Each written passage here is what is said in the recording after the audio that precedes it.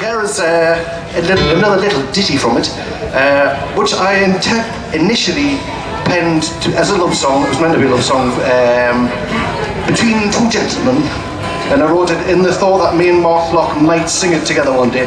Anyways, within the process of writing the song, it turned into a lust song, not a love song, uh, all about internet dating uh, and the perils of it. I don't know, it's, it's all fantasy because I've been in a, steady relationship for 15 years. so this is not a song from experience, it's a song from my imagination. It is called Falling Free. And I stole this um, tuning from, I'm not going to tell you where because that would be telling.